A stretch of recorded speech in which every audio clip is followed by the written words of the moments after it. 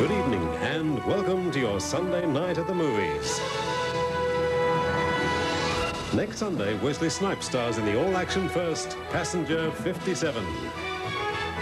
And tonight, Ted Danson and Whoopi Goldberg in the new comedy blockbuster Made in America.